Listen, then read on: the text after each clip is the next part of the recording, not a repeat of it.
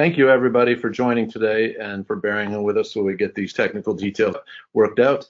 Um, I'm doing something a little bit different today. I'm returning to the, the format we've used in the past where I'm going to give a, um, hopefully an interactive lecture style presentation. I've uh, given this what I hope is a tantalizing title called The Extinction of Deer Ticks in North America. I promise to deliver on that. I promise not only to tell you that it is likely that extinction uh, will take place, but that extinction has actually already taken place. And I'm going to show you evidence for that uh, for that extinction. And before we get started on that, I want to remind you of where we stand in the year. So I'm just going to give you one slide that gives us some idea of where we stand presently with respect to tick activity, in particular to deer tick activity. So I remind you that there's a seasonality, as we've discussed a number of times. There's seasonality to the life cycle of the deer ticks, that there are overlapping distributions of the different life stages, that there's a bimodal distribution to adult ticks, the one that happens in the spring, second one that happens again in the fall. And then in the late spring, early summer, there's a nymphal period that we've just gone through. And then what we are in right now, which you can probably barely make out down at the bottom here, is the larval tick season. So here we are, the middle of August. These are Julian weeks along the bottom, so the 52 weeks in the year, and then I've just put the months to guide you. So here we are in August going, can you believe it? We're almost halfway through August, but we're going into September in what is really kind of a doldrums of, of tick activity. So there are less ticks. We really don't see any adult ticks in this period. The nymphal ticks are coming to an end of their of their season, and then larval ticks are active. They're out there. To the extent that they feed on people, it's somewhat of a question because they're so small that perhaps they're feeding on people at a higher frequency than we detect, and people are just missing the ticks. But the good news is that even if those larval ticks are biting people, they're not generally associated with pathogen, excuse me, not generally associated with Lyme disease pathogen, with Borrelia burgdorferi. They can carry some of the other pathogens, which we know are lower frequency. But for Lyme disease, this is about the safest time of the non-snowfall uh, periods of the year. So this is really a time when when we, we would say the risk generally, it's not zero, but the risk is generally lower than it is at other times of the year. And I always tell people this because I want people to remember. I, I think something that happens year after year is people, uh, this will just be friends that I run into, will say the ticks aren't that bad, and it'll be this time of year or even after school um, starts in a normal year. Who knows what's going to look like this year when school starts? But very often, what I hear in like early September is people say, "Oh, it's a very good tick year," and what they're doing, what they're perceiving, is a comparison with of September with what they remembered from earlier in the year, from June and July. If they were to properly think of September of 2020 and look back at September of 2019, they would notice that there aren't that many ticks in either of those two Septembers. And that's because of this seasonal cycle. And so that's just my, my little public health message to remind you today that the risk of getting bitten by a black-legged tick at this point of the year, and in particular in by an infected Lyme infected black-legged tick is relatively low. We never say zero, we never say totally safe, but it's a relatively safe period of time. So the timing I want to talk about today is not so much the seasonal timing, but I want to talk about this epidemiological timeline, which again, we've spoken about before. It'll come up in other lectures that are coming forward or, or, or other guest speakers that we have coming up. And so let's just pull this slide up. So there is a timeline to the discovery of Lyme disease, and it dates back to this period in 1975 in Old Lyme, Connecticut, the inordinate number of cases of juvenile rheumatoid arthritis, eventually coming in and understanding that to be a tick-borne etiology. A few years later, a unique species, the deer tick, Ixodes dammini, was identified by Andrew Spielman. We're going to talk about that a little bit in a moment. Later, the causative agent in 1982, Willy Burgdorfer and colleagues identified uh, Borrelia burgdorferi.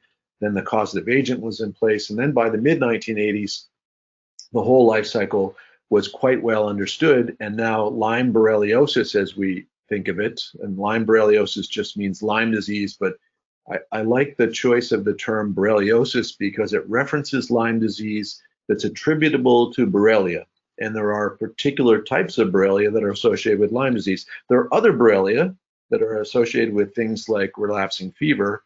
And so by re referencing them as Lyme borreliosis, it uh, narrows that definition to very specifically what it is. It also allows for the notion that there can be a Lyme disease which is independent. Um, it may not be uh, in the canon referred to as Lyme disease, but there can be Lyme-like illnesses that aren't associated with borreliosis. But what we are talking about very specifically here, and this is where sometimes people get hung up, is very specifically we're talking about the Lyme illness associated with Borrelia burgdorferi, Lyme borreliosis, and that's the life cycle that I'm referencing here. And this is the period through which those discoveries were made.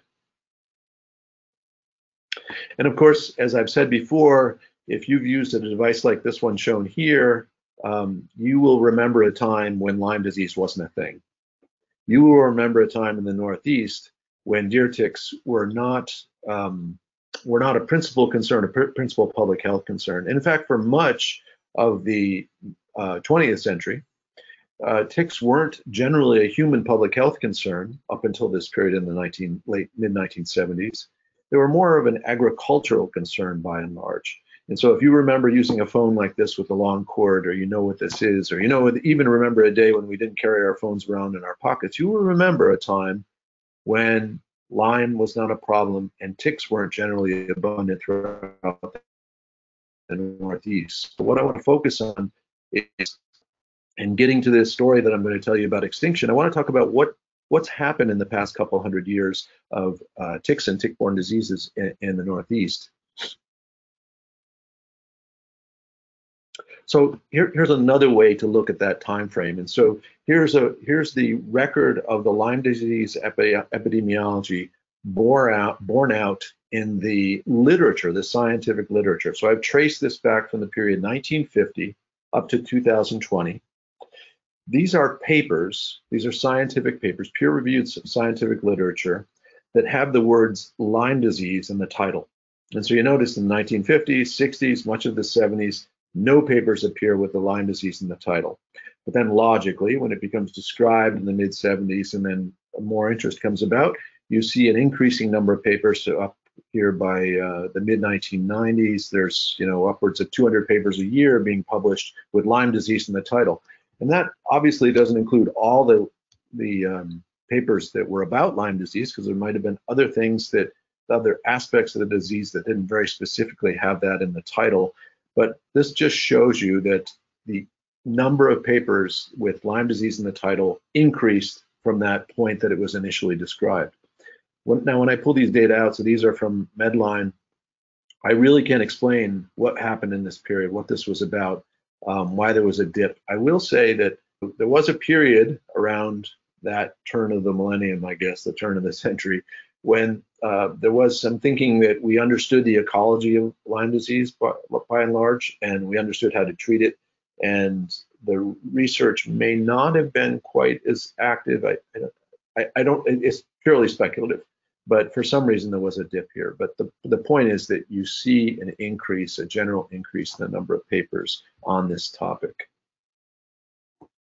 And so what I would like to say is that one of the things that's going on here is there's some taxonomic artifact. So I've already referenced one taxonomic um, bugaboo that we could get into, which is distinguishing Lyme disease from Lyme borreliosis. And I would argue on another day that Lyme borreliosis may get us out of the arguments about what is Lyme disease and what isn't Lyme disease, because I think very often people on one side of the argument are referencing Lyme borreliosis, whereas other people want to reference something called Lyme disease with a much broader definition. And I think there's a way to reconcile those two, but it really comes down to this business of naming things. And so there's this um, Chinese proverb that um, all wisdom begins with naming things properly. Socrates had a similar quote. Um, and so taxonomy, despite the fact that it's sometimes regarded as one of the drier aspects of science, and isn't really a science itself, but more of a discipline.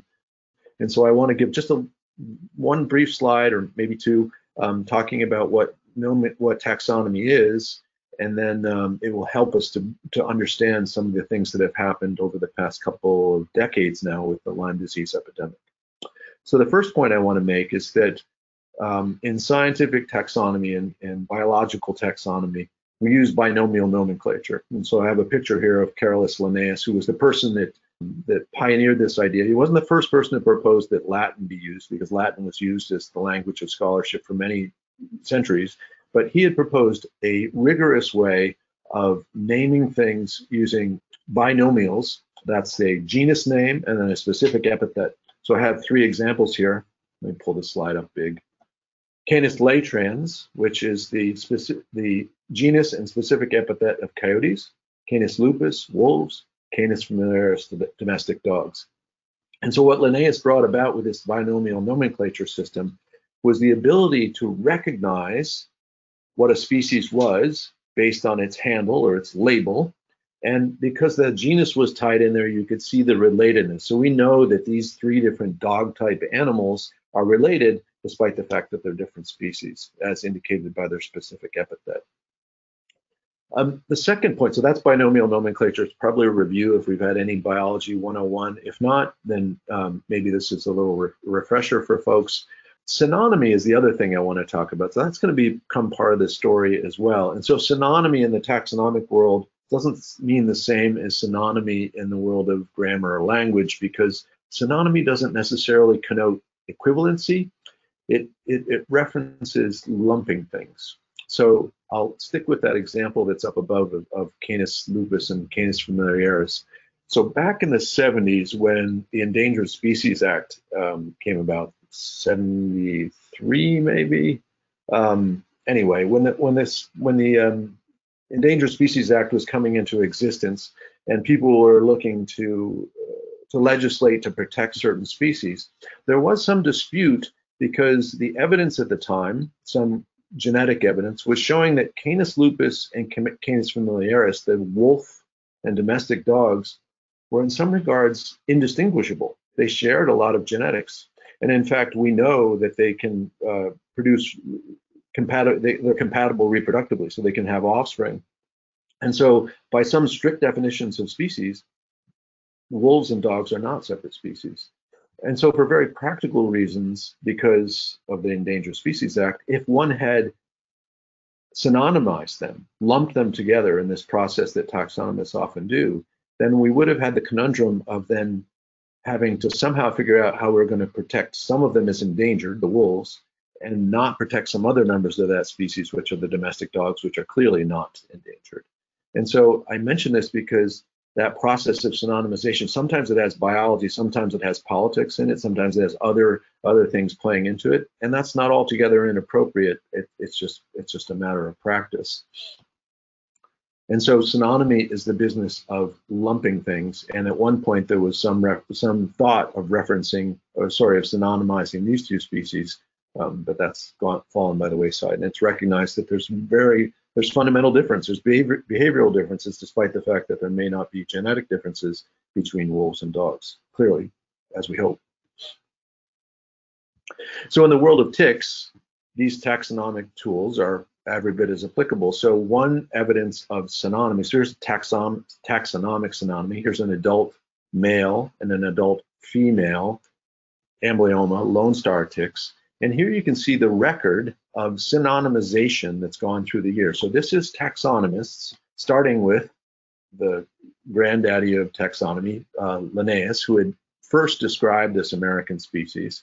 And here you see other ticks that were described. They went under different names for perhaps some period of time, but then later it was recognized that nope, this really isn't a new species. This is the same thing that Linnaeus had described back in, in 1758. And you see they come uh, quite regularly throughout this period.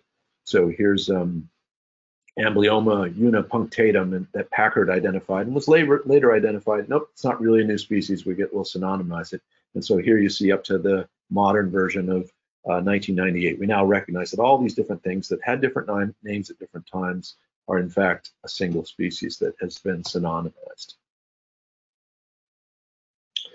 Um, and let me just go back to that slide. One one for one second here. So you notice this fellow Say, so Thomas Say, I want to focus on him on the next slide, but you notice he even he had something to say. So Thomas Say was a North American naturalist that described hundreds of different species of animals and insects and um, and plants and, and, and many many mammal species.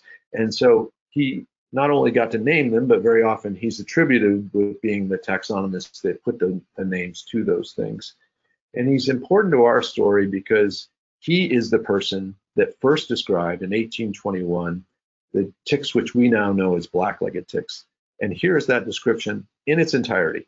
So here are, um, it's actually several different species that he described. Here's the seventh and the eighth one that he described. So Ixodes scapularis was number seven, um, and Ixodes fuscus was number eight. And the reason I show both of these, and you can read these, they're not very clear, as was pointed out by Nuttall and Warburton in 1911. The original descriptions are relatively useless. You can't, uh, uh, let's show just a couple of things. It talks about, if I can find it, about the large visible eyes. Where does it say that? Here, eyes distinct underneath my pointer, which I'm hopefully showing up on the screen. Well, ticks don't have eyes. They certainly don't have eyes, these distinct eyes. What they have are little markings that, that looked to say like eyes. But the other thing I want to make about point I want to make about this is what he was describing probably was Ixodes scapularis, this one, the female, and what he was describing as a separate species was actually the male Ixodes scapularis. And so sometime later, these two were synonymized and it was recognized that they're not two different species, they're actually the male and the female of the same species. And this underscores another problem that, that makes it tough sometimes to distinguish or, or to identify uh, tick species is that the different life stages will differ in their morphology over time, and sometimes it's difficult to, to assign them to being actually the same the same species unless you watch one stage go through its development to the next stage. It's not the same as you know, you look at a dog, it basically looks the same throughout its lifetime. It's a little dog and then it's a big dog. In this case, they change quite substantially, and so that's confused the taxonomy at times. The other point to be made about this slide is this quote from Nuttall and, and Warburton throughout the 20th century, and for one reason or another, it was, it was always sorry about that. For one reason or another, was always a series of uh, it was always a pair. So Bishop and Trembley, Cooley and Kohls, Clifford and Keirans, a number of different authors that revised these um, these taxonomic uh, identities and, and, these taxonomies over time. And um, there's a number of of just about every 10 to 20 years there was a major revision of the genus throughout the throughout the decade. One of those that that I think is very informative is this one by Cooley and Kohls from 1943. So now we're almost 120 years after Say's original description of Ixodes scapularis, which we know eventually is going to become the vector of Lyme disease. And what Cooley and Kohls did, this is in a, uh, an organ called the Institute, uh, National Institutes of Both Health, Health Bulletin. This was number 184, which in back in 1943 sold for 40 cents a copy. And here I've just added color, so I've made the um, record of Ixodes scapularis red. And the first thing, hopefully, you will notice if you're familiar with black-legged ticks is the absence of black-legged ticks from the northeastern United States and the upper Midwest, where they're now quite, quite, uh, quite abundant. And this is, I did not um, concatenate this. This just appears above the figure. This is a quote about some Dr. Smith that identified that had identified Ixodes scapularis in, in Cape Cod and they were excited to have that reference, but it was really an isolated report. It didn't seem like it was widespread. And so by and large, it was recognized that Ixodes scapularis, the black-legged tick, at least in 1943, was a tick of the southeastern United States. So that's what this would have looked like. If we had drawn a color map, we would have generally said this was the range of Ixodes scapularis and then maybe a couple of, of uh, throughout the century a couple of instances where it occurred outside of that range. It also wasn't particularly abundant throughout even this green zone. It was they were pretty few and far between. So what happened between 1943 and 1979, the next piece of this puzzle was uh, Professor Andrew Spielman, who was, uh, in full disclosure, was a former mentor of mine um, at the Harvard School of Public Health, was called upon by a senior colleague of his to travel to Nantucket to investigate what was an outbreak of babesiosis, which we now know is a human malaria-like illness that's transmitted by ticks, but it really wasn't known as a human illness prior to this period. And so these this much like the Lyme disease cases that had been described a little bit a few years before, it was an aberrant instance of an outbreak of disease, and Spielman went out to investigate. He found this tick to be the culprit. He looked at the tick very carefully. It had a number of different characteristics, including some morphological characteristics that made it a little bit different, seemed different than its southern cousins. And so in 1979, because it was so distant and uh, its range was distant, and because of the wide gap, there weren't really ticks in this intervening region, Spielman thought that it really deserved to be identified as a separate species. And so he identified this as Ixodes dammini as being distinct from that species which Say had described in, in, in 1821.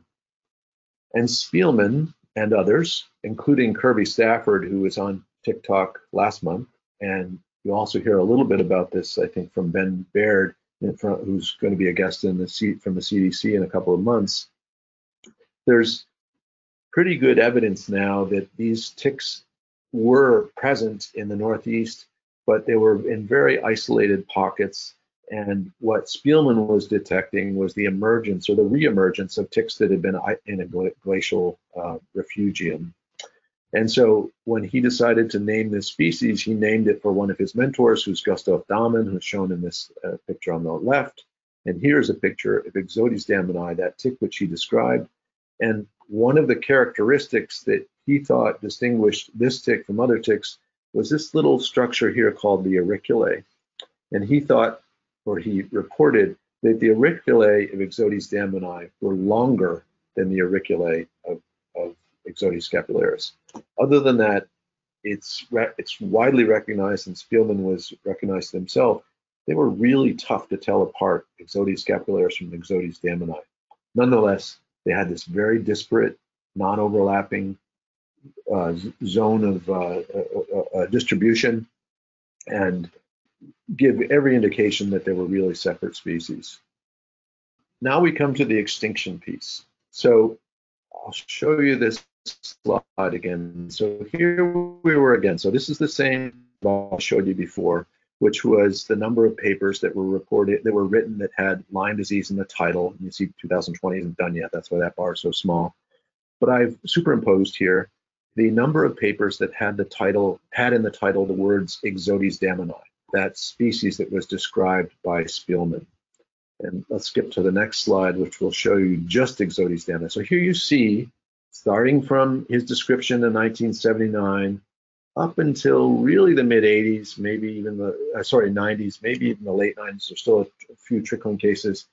There were a number of papers, a growing number of papers that were reported with that, that were written with that word in the title, those words in the title. But then, miraculously, an extinction event took place. Quite, um, quite frankly, the use of Ixodes dammini went away, and we, we, there's really only one author that I know that su- still uses it regularly in publications. And what happened was that tick was synonymized it, the landscape had changed substantially. So here's a here's a map from 1989. So remember Ixodes scapularis from Cooley and Kohls' period 1943. It was in the southeast. Spielman had identified this population up in Nantucket. But by 1989, Ixodes dammini, or this Ixodes ricinatus-like tick to keep it neutral, was starting to pop up all over the place um, in New England and even a second focus up here in Wisconsin. And it was pretty clear that its range was expans- expanding and it was getting more numerous. And the expansion of that range was happening southward and northward from those initial foci that had been detected in coastal New England. So the 1989 picture didn't look like 1979 and that the tick had really expanded. And so now the range between Ixodes scapularis and Ixodes dammini really wasn't so wasn't so pronounced. And so it looked like they were starting to come together. And so the boundary, if 1979 was the period that was the birth of Ixodes dammini, 1993 was ostensibly the taxonomic extinction of Ixodes dammini.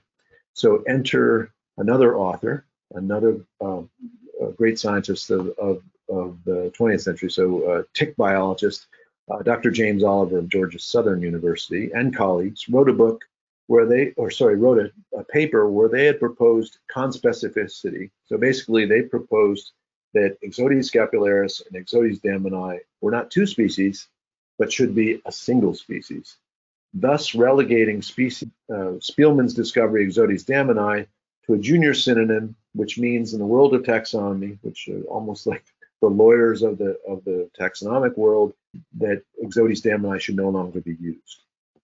And so that extinction is basically the, the swoop of a pen or the swipe of a pen that eradicated Ixodes dammini and replaced it with Ixodes scapularis. And so Oliver, this is a quote from his paper, the belief that dammini does not occur south of Maryland and, and that scapularis is separate and distinct species yet unproven, yet unproven as a natural vector of Lyme disease has caused delays in Lyme disease surveillance in the south. The general attitude among physicians and veterinarians, veterinarians has been that Lyme disease is not a problem in that area, re referencing the South, although patients present clinical symptoms of it. We propose to demonstrate that I. dammini is not distinct from I. scapularis and that the two, two species should be synonymized. What he was trying to do, and what he did quite successfully, was by making the two things come under a single name, he artificially, he and his colleagues artificially created the illusion that there was a Lyme disease epidemic in the southeast that mirrored what was going on in the northeast and upper Midwest. When in point of fact, it, through decades now of surveillance, there's really little evidence of human disease, despite the fact that the two the two names have been have been joined. So the death of Dammini did not ultimately uh, achieve the end which which was hoped for, which was to create um, to create the illusion basically of a of a of an epidemic in the southeast. Nonetheless, the two were synonymized. Ixodes dammini is not now widespread, not not used virtually at all, and the preferred term is Ixodes scapularis. I use the same. Just um, um, one more word about about the names. So Ixodes dammini and Ixodes scapularis are, are binomial nomenclatures. They're very official names.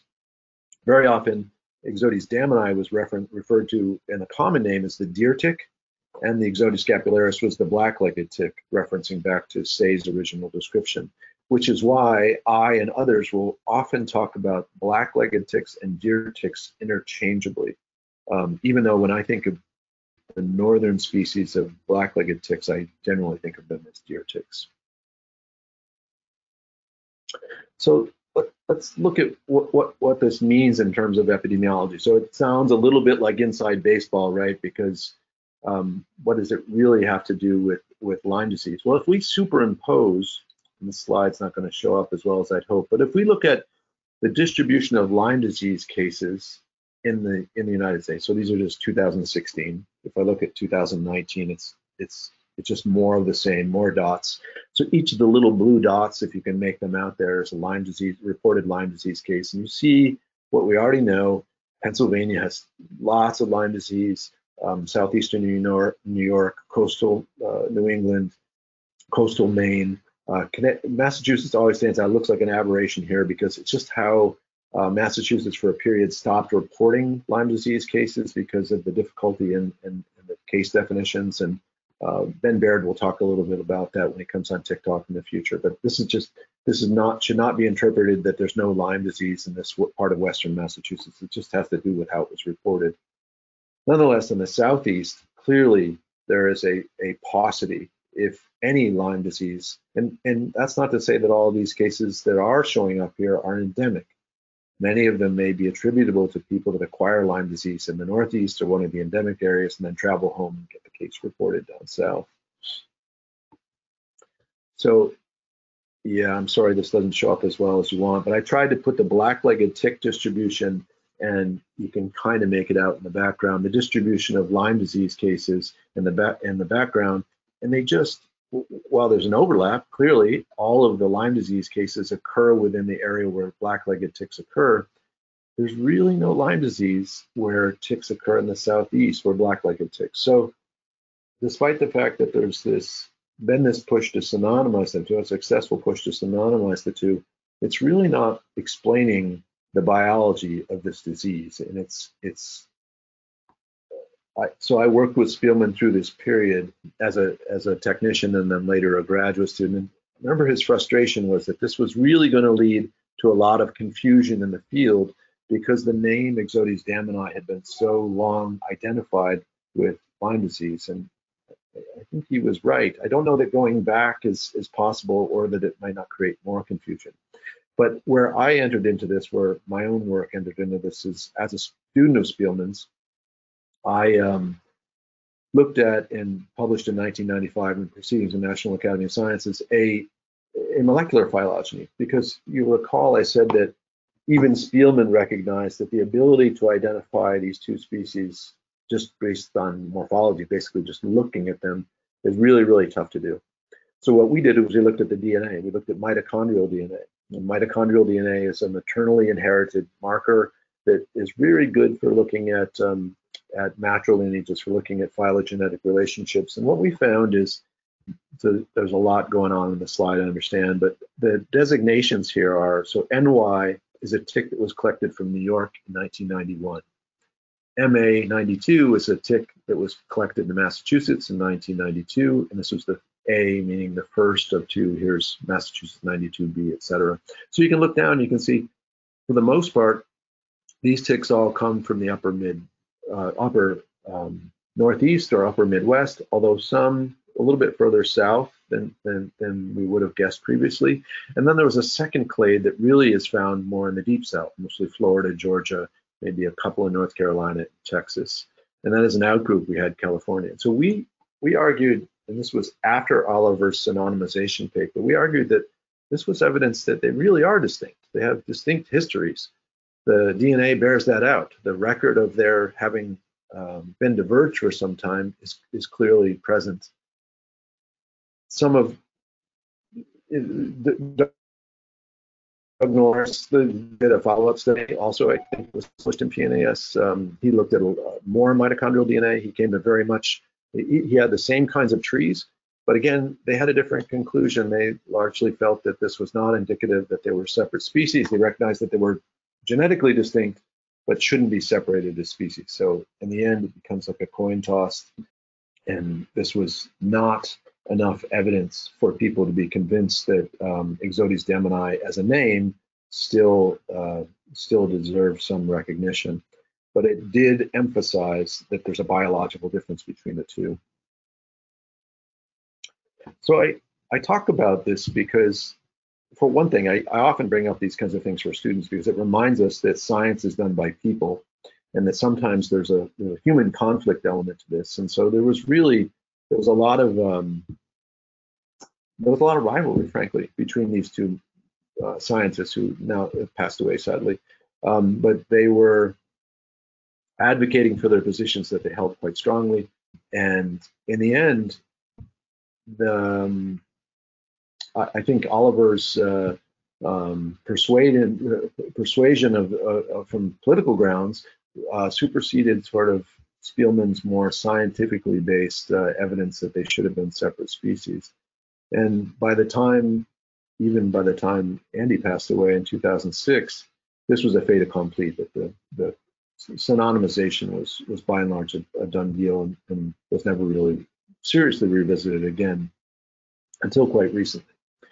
Um, and what made me want to bring this up as a topic today is that Dr. Guang Xu from my lab and, and Ben Wielstra, another colleague, and myself wrote a paper this year where we really did a little bit more definitive work that wasn't necessarily possible back in 1995, where we went back and we looked again at these northern and southern populations, and we used some more sophisticated tools for for discerning. So these are Bayesian, Bay, excuse me, Bayesian models This is, so this is about 1,200 ticks collected from New Hampshire down to Florida.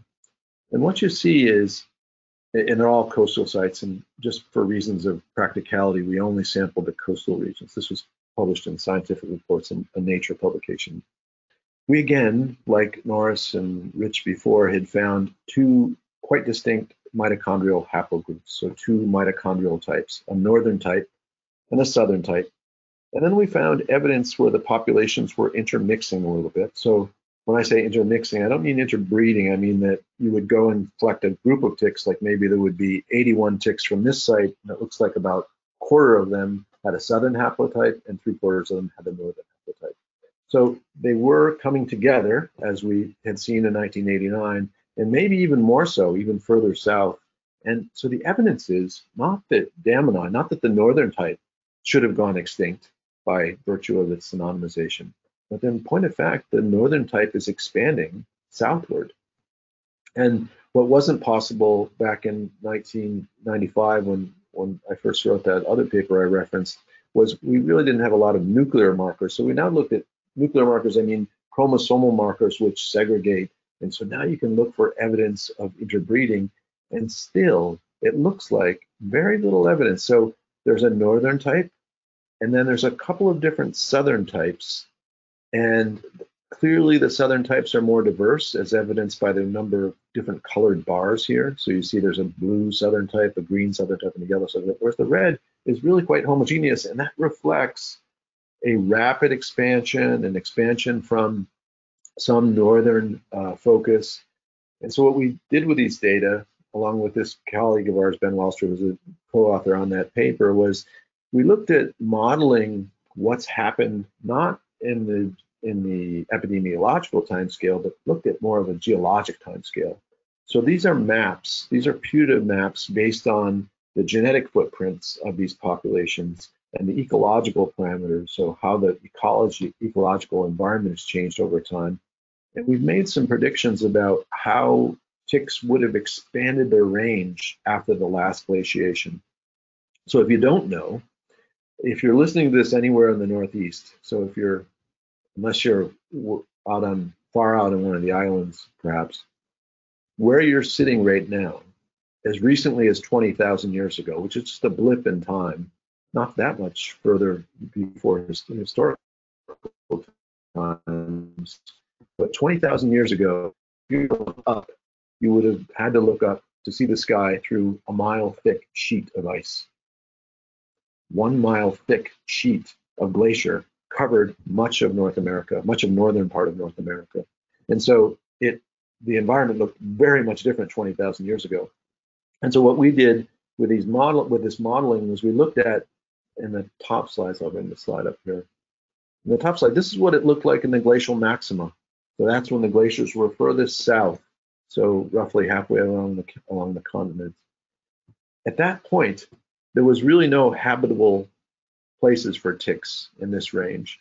And so I'm sorry it doesn't show up very well. I wish I could blow this up, but we speculate that there was a single, probably somewhere around the Delmarva Peninsula, the northern haplotype, what we wish was still called Ixodes dammini, had a glacial refugium it had a population holdout on this little emergent plain. So the continental shelf at that point was above water. And that it persisted for a few thousand years in that small glacial refugium. Simultaneously, at the same time, while that glacial sheet was was down, Florida was much colder. It was not a it was not um, tropical or semi-tropical. It was more of a temperate climate. And the ticks that we now think of, or we prefer to think of as the southern Ixodes scapularis, were restricted to southern Florida, like many species. I should emphasize that this is documented for lots of different species of from butterflies to mice and Peromyscus leucopus, even Peromyscus leucopus, the natural reservoirs of, uh, of Lyme Borrelia. That this pattern of pushing ticks down into the, or sorry, pushing animals down into the southeast during the glacial maxima, and then having them expand up. So that's what's shown in this next slide. So across the top, these are glacial maxima. So say roughly 20,000 years ago. Here's mid-Holocene. So this is seven to 8,000 years ago. And here you see the expansion. So as the glaciers melted and receded, these ticks that were sort of isolated in Florida, they expanded northward, whereas the ticks that were in the Delmar Peninsula, they started to expand northward as well.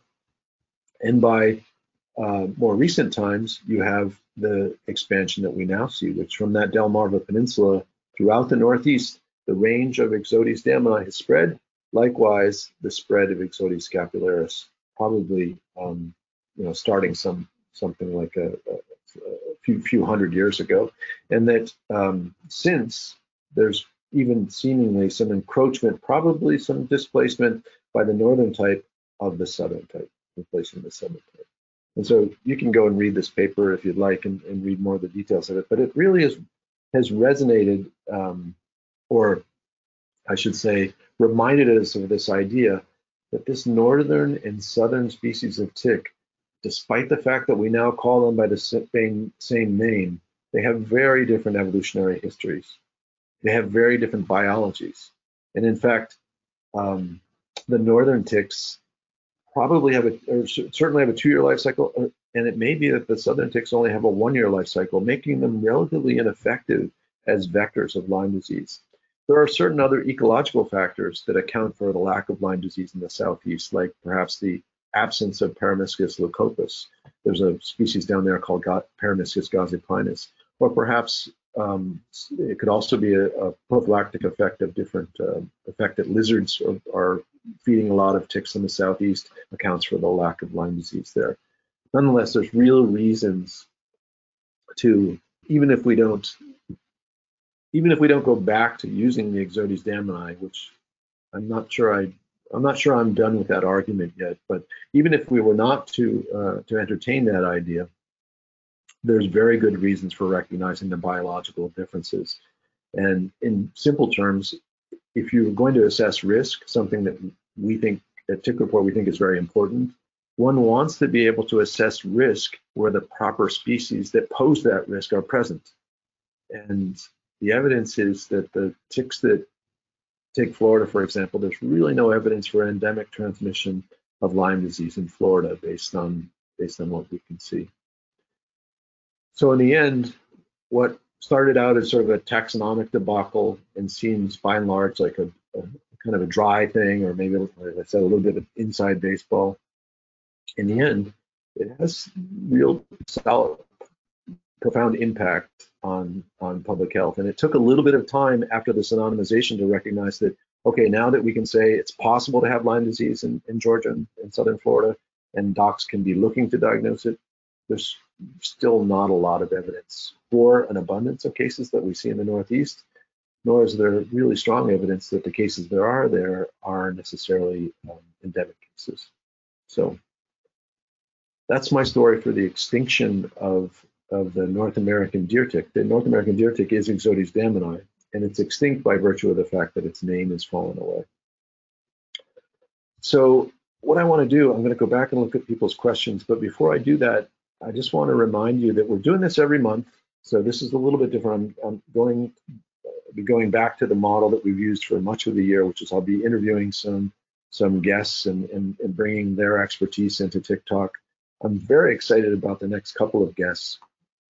And we've actually already, I've already met with them and, and, and logged some time on, on camera, and, and we're now editing those videos for broadcast on the 9th of September and the 14th of September. And those guests are, first of all, Dr. Daniel Sonenshine, who's an emeritus professor from Old Dominion University, currently works at the NIAID at the NIH. He says as a volunteer, I'm sure his expertise is very much welcome because Dan Sonenshine literally wrote the book on ticks. So he wrote a two volume set back in, I think it was 91. He recently updated it. I should have my notes in front of me. I think it was 2013 or 15 uh, he updated that as a as a as a um, edited volume, and it really is the definitive textbook on on ticks. And I was a it was just a great pleasure to have him come on, and he talked about um, ticks and tick-borne diseases, and um, just a, a, wealth of resource. Also, at the beginning, what I'm falling into is sort of a pattern of having a little bit of talk with these folks about you know their background. And Dan has just been around for a, a long time doing this, doing terrific work. And so he overlapped with a fellow named Harry Hoogstraal, and he shares some anecdotes anecdotes about Harry Hoogstraal, who was just a giant in the tick world, um, who passed away um, before I was uh, even, even graduated college. But and so sadly I never met him. But um, Dan tells some stories about that. So just look look for that one to co- that upcoming episode. It'll be very exciting. On the 14th of October, we'll air the conversation I had with Ben Beard. So Ben Beard is the deputy director of the Division of Vector-Borne Diseases at the CDC. So he is the CDC's uh, tick and tick-borne disease person. Um, he's uh, you know recognized authority in that area, and so he gives the CDC's perspective, and he will be on hand when we do that um, that broadcast on the 14th. He'll be on hand live to answer questions, as I'm going to do in a moment here, as will Dan Sonenshine. So uh, that's who's coming up, and actually. Um, we're not letting up because in November it'll be Dr. Sam Telford, my friend and colleague from Tufts University, uh, will come on and he'll probably talk to us about Babesia. So lots of good things coming up. And I remind you that we do them live on the second Wednesday of every month at 12 with UMass Extension. But then we post the edited versions. In fact, we're starting to clip them up into smaller bits so that people that don't want to come on and watch a full hour long YouTube uh, can come on and watch uh, thematic ones about different aspects of uh, that come up in the topics. So I'd encourage you, please, to go on to Tick Report Media and subscribe to our YouTube page. And um, it helps us because we can get different tools available to us in YouTube for, for sharing those those features. And so, if you like what you're seeing, go and support us by registering in in, uh, in, in YouTube. On the 9th of September, that's the second Wednesday of the month, and I'll introduce you to our guest, Dr. Daniel Sonenshine, who I'm sure you're going to find is a, just a fascinating speaker.